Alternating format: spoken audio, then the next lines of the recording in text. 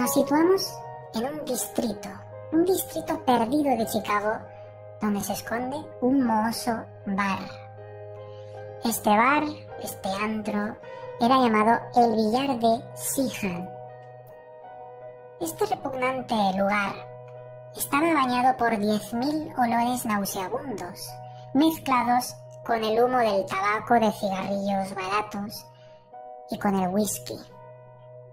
La falta de ventilación y la poca luz del local lo convertía en un rincón de lo degenerado. Sihan era conocido como un centro de tráfico de licores y también de narcóticos. Allí acudían personajes desaliñados, gente muy extraña, gente cuyo rumbo habían perdido en su vida. Entre muchos borrachos había un hombre muy extraño, un hombre que todo el mundo llamaba el viejo Bux. El viejo Bux era un hombre despreciable, siempre estaba borracho y le costaba bastante pronunciar bien las palabras, aunque a veces parecía adquirir una misteriosa lucidez, una lucidez durante unos minutos en el cual mostraba un lenguaje culto de palabras difíciles de pronunciar.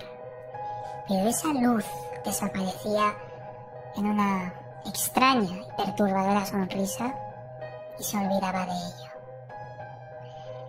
El viejo Bux tenía el pelo desaliñado, poseía una enorme altura y parecía haber sido en el pasado una persona muy corpulenta. Ahora era un despojo de huesos con una repugnante barba que guardaba incluso restos de suciedad acumulada en años. Sus ojos estaban marchitos, sus párpados le caían como bolsas moradas de piel muerta. Todas aquellas personas, aquellos despojos sociales, intentaban averiguar de dónde había salido el viejo Bux, ya que nadie lo sabía, era un misterio del local. Una noche, el viejo Bux entró al local con una enorme violencia, pidiendo a gritos whisky y hachís. Le dieron lo que él pedía, pero a cambio tendría que trabajar en el antro, allí realizando labores bastante asquerosas. El viejo Bux limpiaba las escupieras y con la fregona manchada de vómito limpiaba o restregaba, mejor dicho, aquellos líquidos que estaban por el local. Hablaba muy poco y no llamaba excesivamente la atención, salvo aquellos momentos de lucidez donde mostraba una inteligencia oculta que parecía mostrar en él un pasado de tiempos mejores. La única pista que toda aquella gente tenía sobre el pasado del viejo Bux era una fotografía que a veces sacaba de su bolsillo. Esta fotografía, envuelta en papel de seda con enorme delicadeza, mostraba el rostro de una mujer con aspecto noble, de bastante belleza, pero con ropas bastante antiguas también, digamos, que de una época anterior. Con el tiempo el viejo Bux empezó a observar escenas que le incomodaban, escenas que le hacían encender su fuego interior.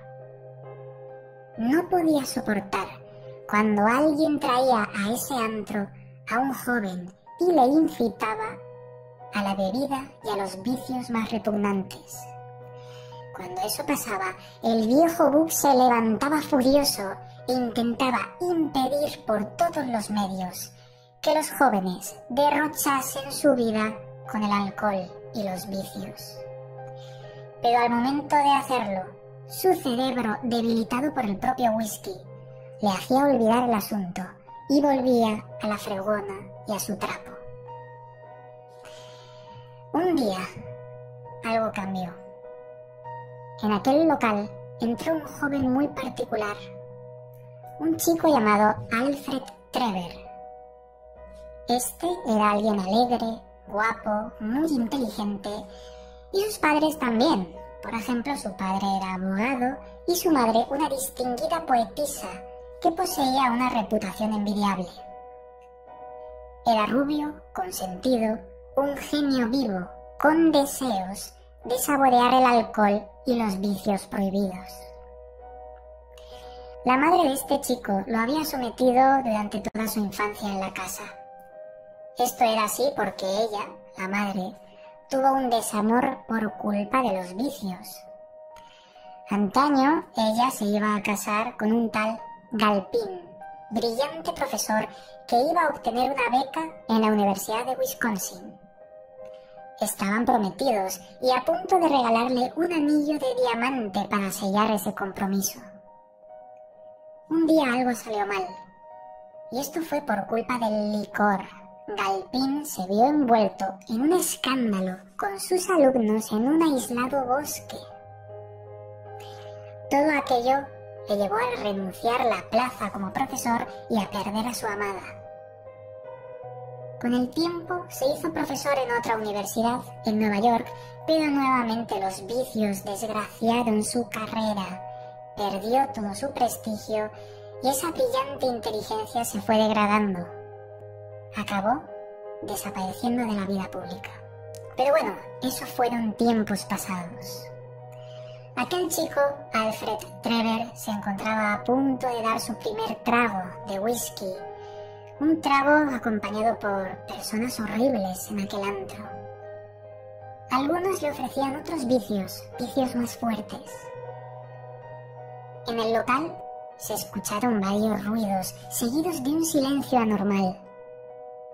De repente, el viejo Bux saltó directamente hacia el joven, y esto lo hizo con un fulgor mucho más agresivo como jamás nadie le había visto. Le arrancó el vaso de la mano con el palo de la fregona y derribó varias botellas situadas en los estantes. El viejo Bux le dijo, no hagas eso.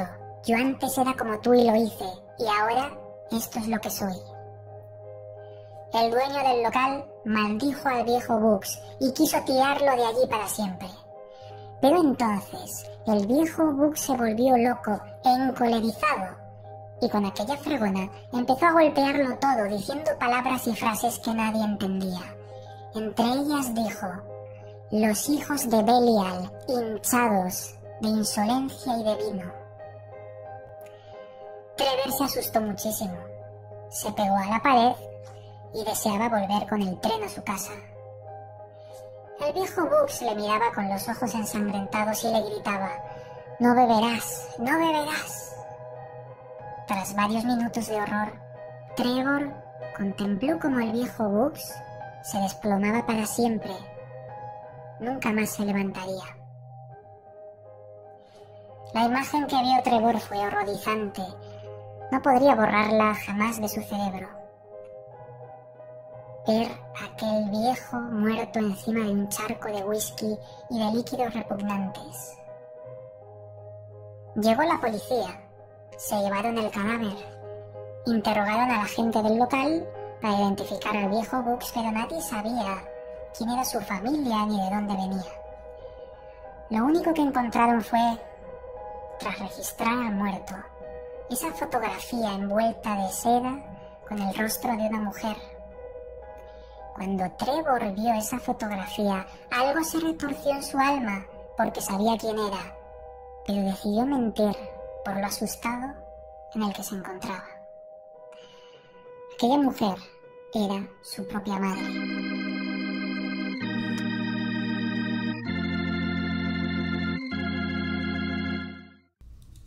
Esto fue el búnker del cuervo.